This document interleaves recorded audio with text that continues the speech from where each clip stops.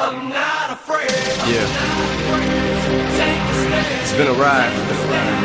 Everybody I guess I had to go to that place to get to this one. Now, some of you might still be in that place. If you're trying to get out, just follow me.